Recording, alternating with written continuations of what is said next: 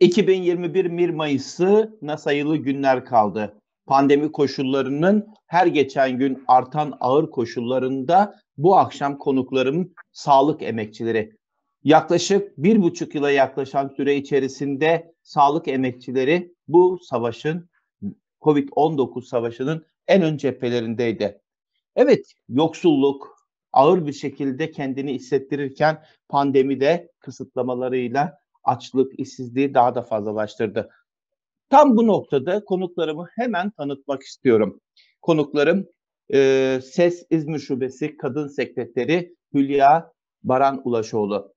Yine konuklarım Sağlık İş Kolu'ndaki e, Sağlık İş Sendikası 9 Eylül Üniversitesi İş Yeri Temsilcisi Ferdi Özçelik ve Çiğli Devlet Hastanesi SES İş Yeri Temsilcisi Etke Gürkan. Hepinize hoş geldiniz diyorum öncelikle. Ee, Ferdi arkadaştan e, hemen başlamak istiyorum. 1 Mayıs'a giderken iş yerinizde yaşadığınız genel olarak sorunlardan bahsedebilir misiniz?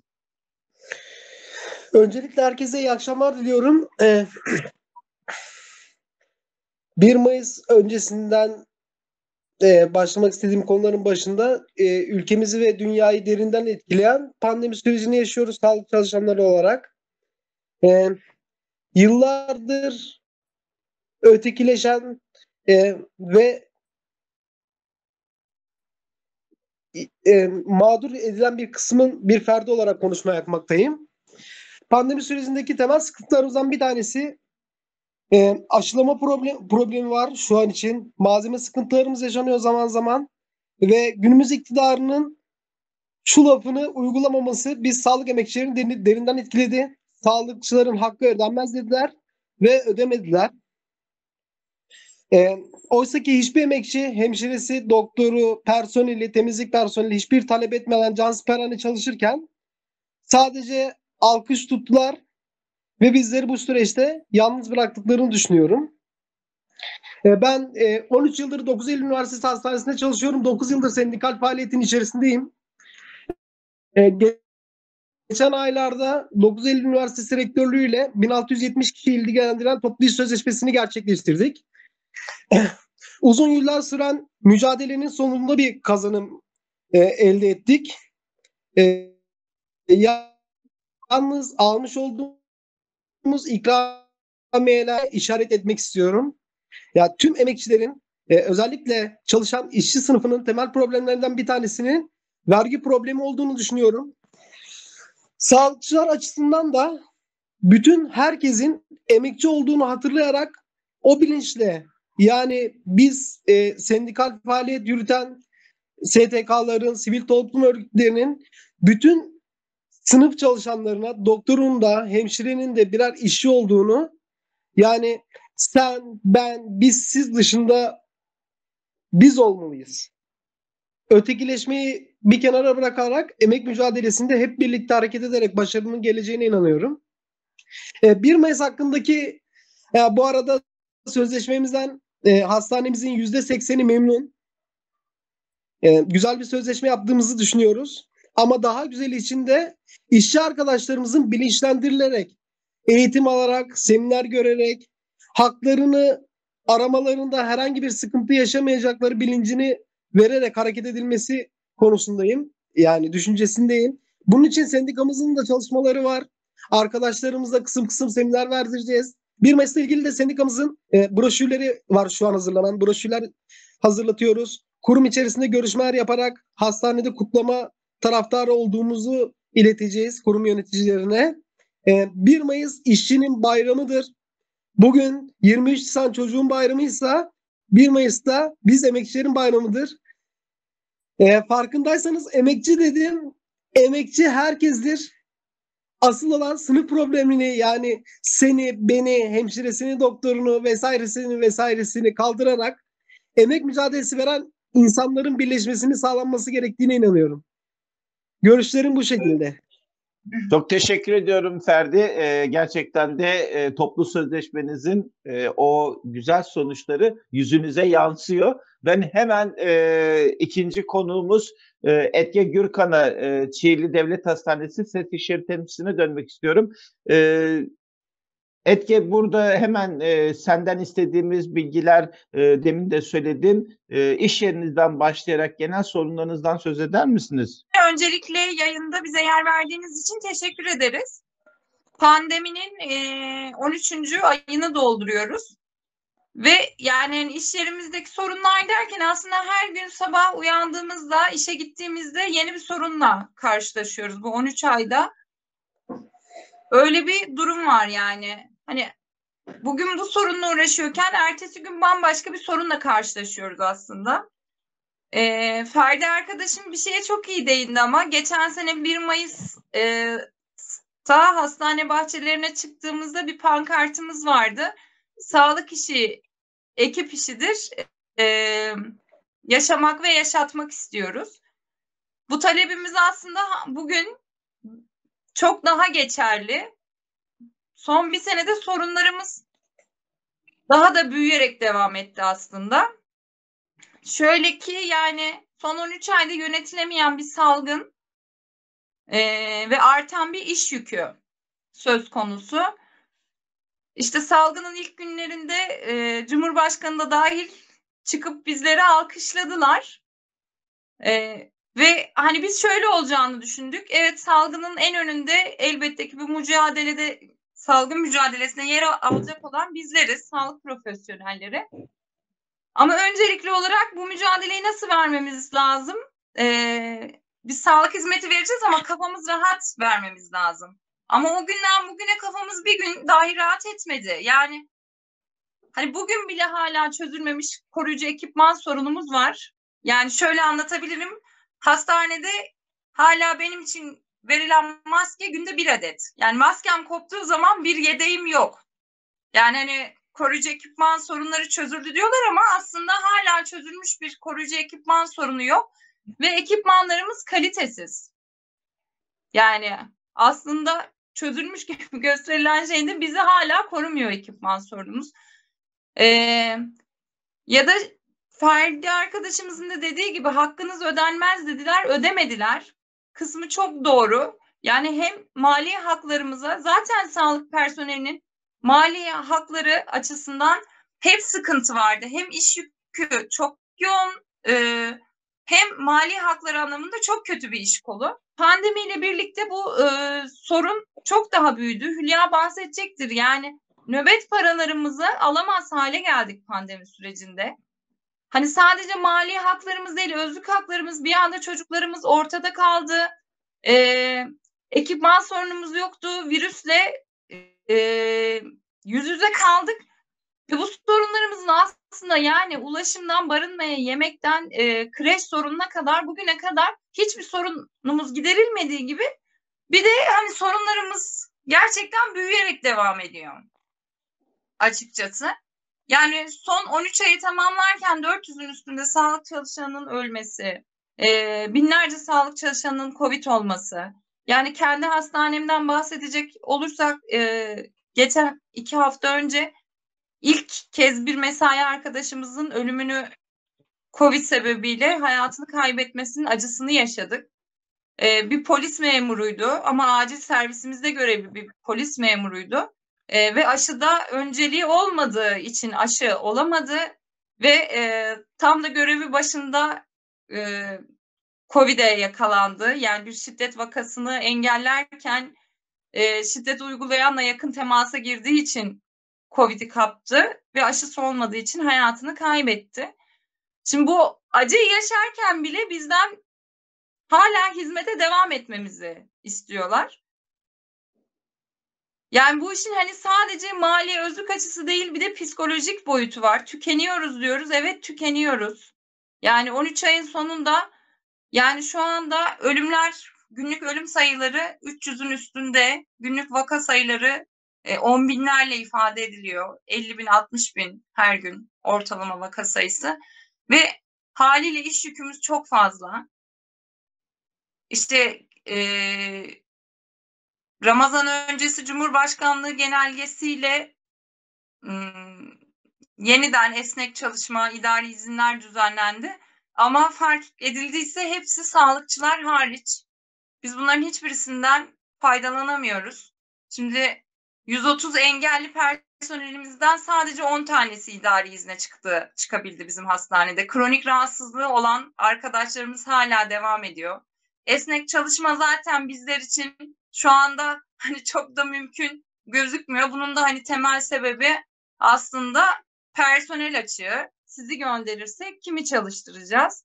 Ama biz yıllardır bunu söylüyoruz zaten personel açığımızı ki bizim hastanemiz 5 sene önce açılmış bir hastane ve 5 senedir personel sıkıntıları hiçbir zaman giderilmedi. Yani sadece pandemi değil pandemi öncesinde de zaten iş yükü yani 11, 12, 13 nöbet tutan ayda yani bu gün aşırı nöbet demek tutan arkadaşlarımız vardı. Pandemiyle bu e, nöbet sayıları çok yükseldi. Bir yani hani, bizler hastanede yaşıyor gibiyiz aslında. Hastaneden hiç çıkmıyor gibiyiz. 24 saat hastanedeyiz. Bir gün evimizdeyiz belki ya da iki gün evimizdeyiz. Ondan sonra yeniden hastanedeyiz. Ee, ve bunun karşılığını alabiliyor muyuz? Yok. Yıllardır sendik olarak bir talebimiz var. Gece nöbetleri çift mesai sayılsın. Gece nöbetiyle gündüz nöbeti aynı şey değil. Fiziken gündüz çalışmakla gece çalışmak ya da 8 saat 8 tane gündüz çalışmakla 1-24 çalışmak aynı şey değil diye. Burada da sorunlarımız çözülmedi. Dediğim gibi yani sorunlarımız büyüyerek devam ediyor. Ee, hani aşılamada şu anda gerçekten çok gerideyiz. Hani 1 Mayıs'a da yine bu taleplerle gidiyoruz. Ee, sağlık işi ekip işidir diyoruz. Gece mesaileri çift var diye sayılsın diyoruz. Ee, parçalı ödeme sisteminden vazgeçilerek temel ücret e, ödensin ve bunların tamamı emekliliğe yansısın istiyoruz. 7-24 açık ücretsiz kreş istiyoruz. Ve yani bu 1 Mayıs'ta en önemli ta- talebimiz belki aşılamalar bir an evvel tamamlansın, hızlandırılsın. Ee, bir an evvel kısmi e, sözde tedbirlerden vazgeçilip tam kapama sağlansın ve hani salgının bir an evvel bitmesi hem bizler açısından hem de tüm yurttaşlarımız açısından e, halk sağlığını korumak açısından çok önemli olduğunu düşünüyorum. 1 Mayıs'a da bu taleplerle gidiyoruz sendika olarak. Ee, teşekkür ediyorum e, Sayın Gürkan. E, ben e, iki temsilcimiz sağlık e, alanındaki iş yeri temsilcisinin açıklamaları, iş yerindeki sorunları tabii ki e, Sayın Ulaşoğlu da yakından biliyor. Ben hemen SES kadın temsilcisi, kadın yöneticisi Hülya Baran Ulaşoğlu'na dönmek istiyorum. Genel olarak iş yerlerindeki sorunları dinledik. Siz de ülkedeki e, özellikle sağlık emekçilerine yönelik düşüncelerinizi aktarırsanız çok sevinirim. Buyurun. Ee, önce çok teşekkür ediyorum. Şimdiden e, iyi yayınlar diliyorum. Şimdi şöyle sağlık emekçisinin sorunları e, Türkiye'deki halkın sorunlarından ya da işçinin sorunlarından e, çok farklı değil. E, biz insanca çalışmak, insanca yaşamak istiyoruz diyoruz. Yaşamak ve yaşatmak için diye hep büyük bir sloganımız var sağlıkçılar olarak. Biz de öyle bir şiar diyoruz. Pandemi çok şeyi gösterdi. Ee, ilk başta sağlık hizmetinin gerçekten bir özelleştirilemeyeceğini, sosyal olarak ille de sağlığın e, devletin sunacağı bir hak olduğunu, yani o e, nasıl söyleyeyim, e, 1960'ta çıkan yasalarla hala idare ediyordu sağlık. Ama ciddi anlamda AKP hükümetiyle birlikte sağlıkta dönüşüm programı e, sağlığı lime lime doğradı diyebiliriz. Sağlığı mahvettiler. Sağlıkta dönüşüm programı aslında ellerinde patladı sağlıktan çok oy alıyorlardı ve hep şunu söylüyorlardı. İyiye gidiyor, çok iyi reklamlarını yapıyorlardı. Kocaman kocaman şehir hastaneleri yaptılar. Hani ne kadar güzel olduğuyla falan övündüler. Onlar ellerinde patladı mesela. İzmir'in bir şansı buydu. Şehir hastanesi hala açılmamıştı. Her yerdeki hastane açıktı. İşte e, trafik hastanesini tutup tam pandemi yaptılar. Bir hastaneyi biraz daha korudular filan. Aynı zamanda sağlıkta dönüşüm sisteminde performans sistemi vardı anımsayacak olursak. E, hani kalite, çalışan sağlığı, güvenliği böyle baktığınızda her şey çok kaliteli, çok uygun gibi görünüyordu. O programların hepsi ellerinde patladı.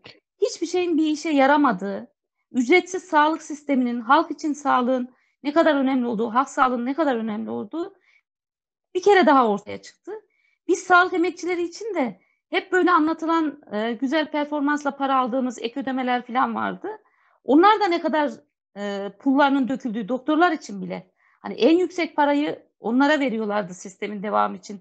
Performans yapanlara. Güya çok çalışan çok, az çalışan az para alacaktı. Ama bu pandemide şu ortaya çıktı. Burada sağlık işçisi arkadaşım Ferdi çok güzel anlattı. Yani aksine çok çalışanın en az parayı aldığına şahit olduk. Yani gece gündüz 7-24 orayı bekleyen e, sağlık emekçisi, güvenliği, işte yemeğini yapan, hastaların altına alan, temizliğini yapan personeli, hemşiresi en alt düzey e, ek ödeme aldığına şahit olduk. Sağlıkta pandemi böyle her şeyi tuzla buz etti. Bütün boyaları yere dökmüş oldu. Böyle bir şeyle girdik.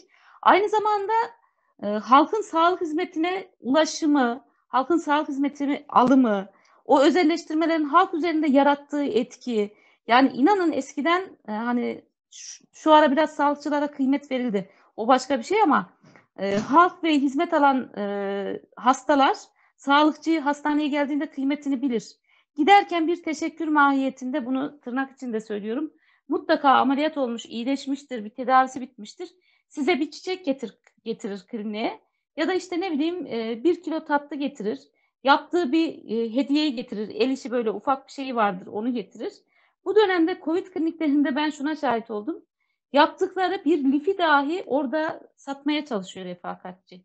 Açlık, yoksulluk ciddi anlamda halkın iliği, kemiği sömürülmüş durumda. Orada yani bir de o acıyı yaşıyor sağlık emekçileri.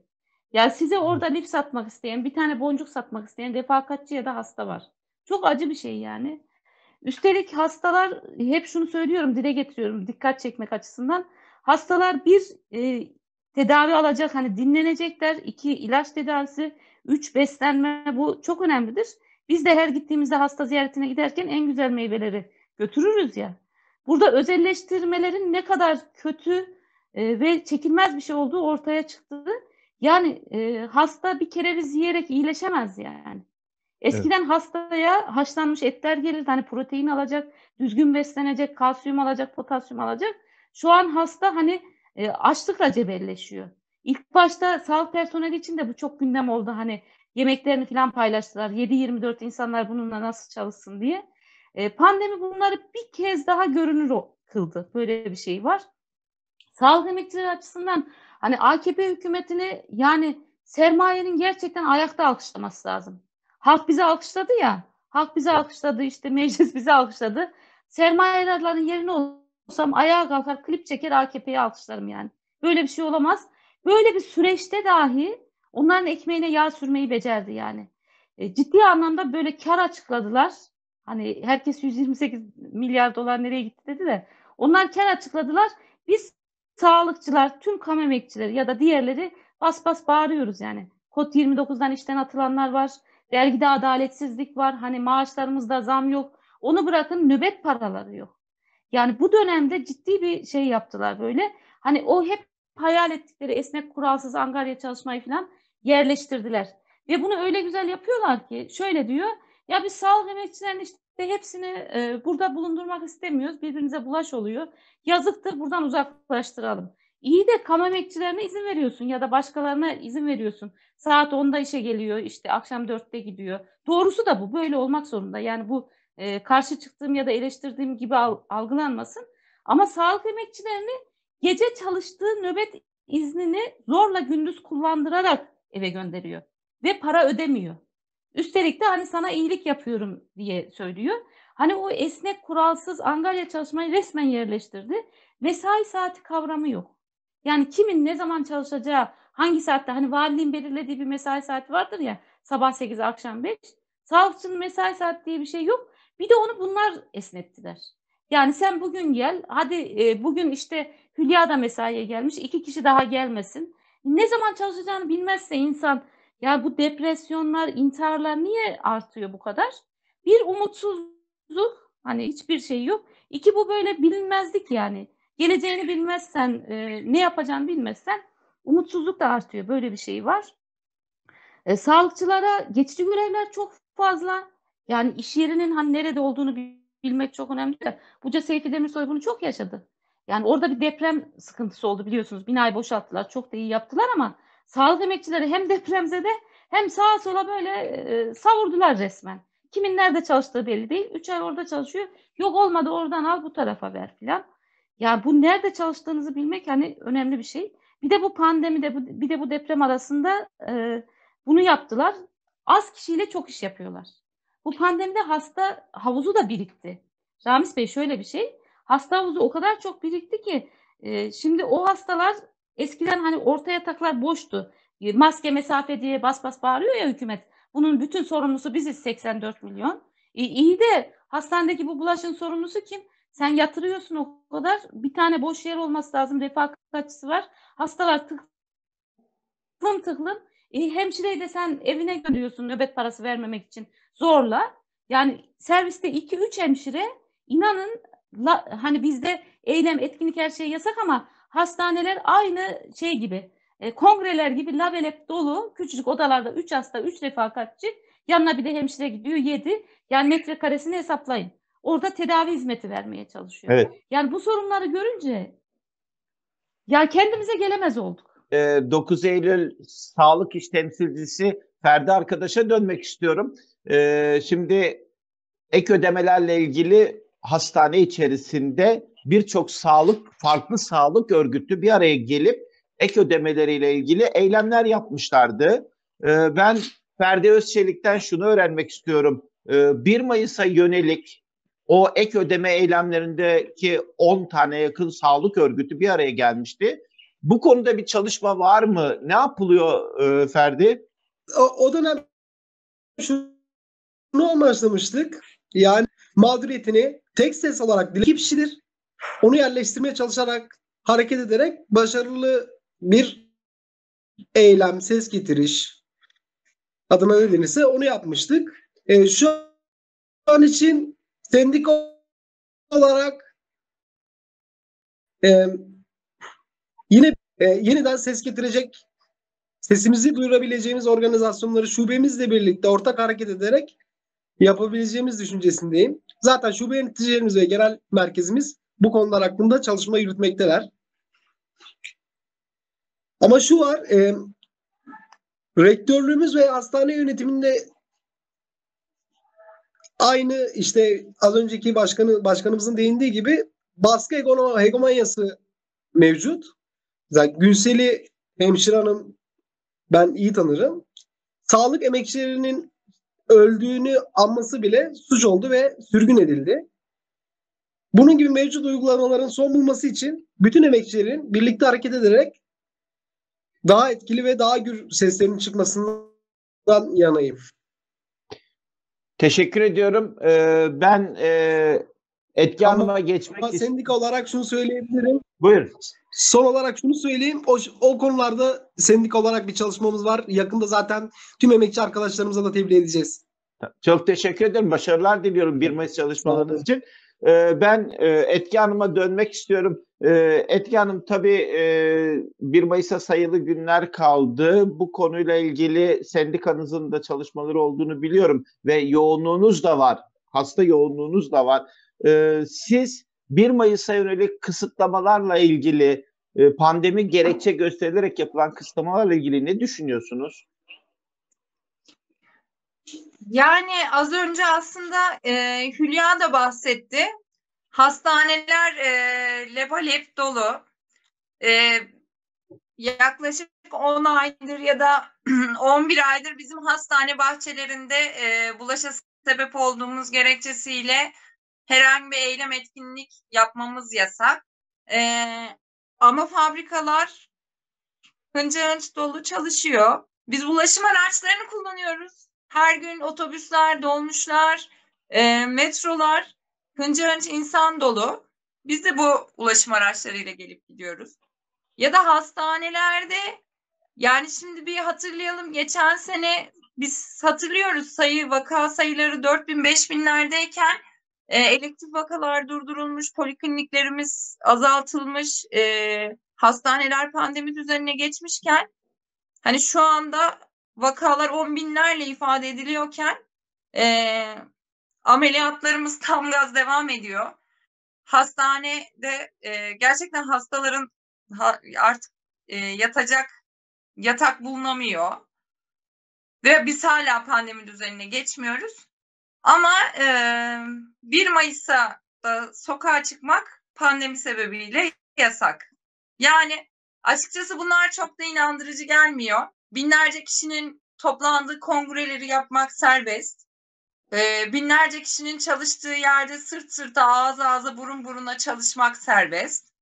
İşte hastanelerde sanırım bir gün içinde giren sayısı, çıkan sayısı yani biz hep eğitim araştırma hastanelerini düşününce binlerle belki on binlerle ifade edilirken e, 1 Mayıs kısıtlamaları açıkçası çok gerçekçi gelmiyor.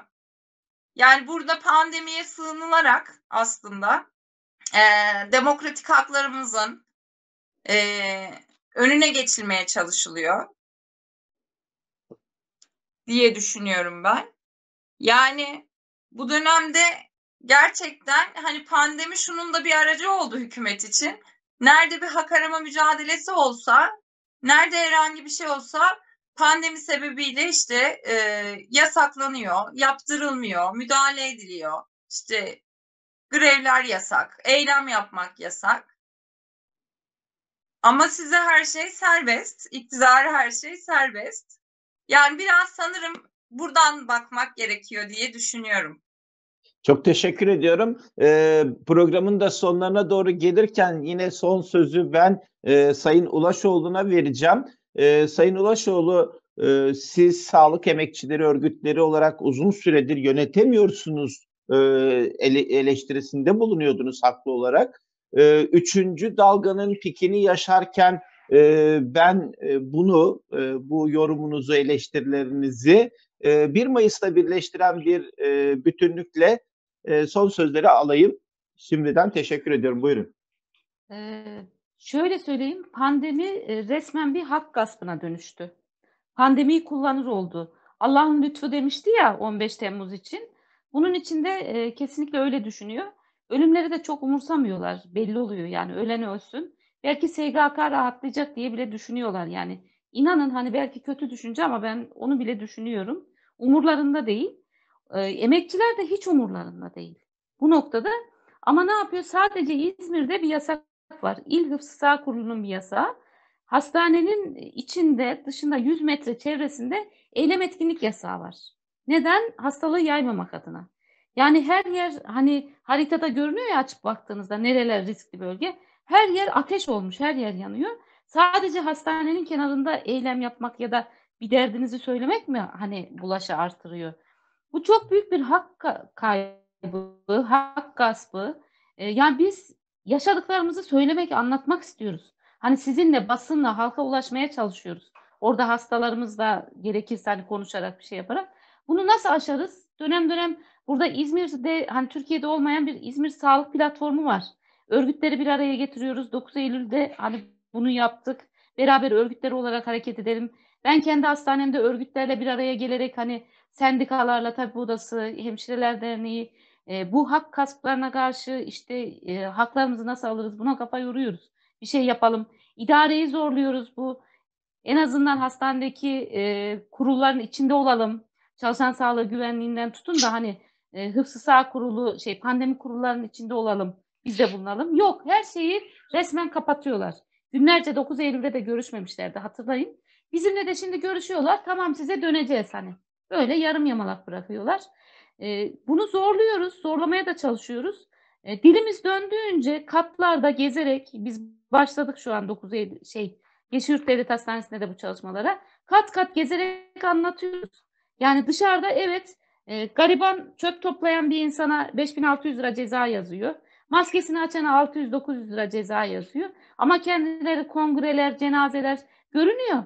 Bunu dilimiz döndüğünce hem emekçilerle konuşuyoruz. Onlar bize dertlerini anlatıyor. Yani buna karşı birlikte hareket etmenin önemini anlatıyoruz. Bildirilerimiz var. Hani e, yaşamak ve yaşatmak istiyoruz, insanca çalışmak istiyoruz diye. Zaten bu bildirilerimiz hani yaşadığımız sorunlarla alakalı. Biz kendimizi nasıl anlatacağız? bir yol, bir çözüm bulmamız gerek, örgütlenmemiz gerek. Eğer örgütlenmezsek, derdimizi anlatamazsak bu sefer de işte depresyonlar, anksiyeteler, intiharlar ya da o bulaşları işte e, malzeme eksikliğini açıklayamazsak, çalışan sağlığı güvenliğinin önemini anlatamazsak, kurullarda olamazsak, pandemide gidişatın kötülüğünü idareye anlatamazsak derdimizi, uzun çalışma saatlerinde çalışırsak ölüyoruz. Neden Almanya'da 35 kişi ölüyor da Türkiye'de 380'leri vurdu o dönem rakam? Hani şimdi 400'ü geçtik de o e, istatistikler açısından söylüyorum. Neden geçti? Bunları anlatamazsak gidiyoruz. Biz e, şeye giderken şu an 1 Mayıs'a doğru giderken kesinlikle 1 Mayıs gerçekten yasaklara sığmaz. Şu an insanlar tartışıyor. 1 Mayıs hiç olmadığı kadar da geçen yıllara göre de evet 1 Mayıs işçinin emekçinin bayramı. Bize zaten bunlardan hayır gelmez, bayram yaptırmaz. Şunlar şunlar da yaşıyoruz diye tartışıyor emekçiler tabanda bunu. Yıpranmayı daha nasıl anlatacağız diyor mesela. Covid-19 meslek hastalığı bir türlü olmadı, kabul ettiremediler. Bunu birbirimize tutunmaktan başka bir çaremiz yok. Onun çok farkındalar ama o korku iklimi nasıl kırılır, ne olur? Emekçi nereye kadar sabreder? Ya da ne zaman bir araya gelir de daha akan bir sele döner? Orayı e, bırakın AKP düşünsün, ben akacağını düşünüyorum. Yani buna çözüm arıyoruz şu anda. İşte Ege e, şey Çiğli'de Ege yaptı ama söylemeyi unuttu. Yemekhanede açıklamalar yaptılar kendi sorunları için. Yemekhanede beraber yemek yiyoruz. O zaman burada tartışalım sorunlarımızı dediler. Buna benzer e, çalışmalar düşünülüyor. Mutlaka 1 Mayıs'ta alanlarda olacağız. Ee, üç konuğuma da tekrar teşekkür ediyorum. Çok teşekkür ediyorum. Ee, 1 Mayıs gündem özelde e, yaklaşık 14-15 aylık pandemi sürecinde 400'den fazla arkadaşlarını kaybetmiş sağlık emekçilerini konuk ettik. 1 Mayıs'a sayılı günler kala ben tekrar etmek istiyorum. 135 yıl sonra hala o birlik, mücadele ve dayanışma ruhuyla e, biz bütün pandemi koşullarında e, geçen yıl olduğu gibi iş yerlerimizde, sokaklarda, balkonlarda neredeysek 1 Mayıs'ı kutlamaya devam edeceğiz. Bütün seyircilerimize şimdiden 1 Mayıs'larını kutlamak üzere sağlıklı günler diliyoruz. Yaşasın birlik, mücadele, dayanışma diyoruz. Herkese iyi akşamlar.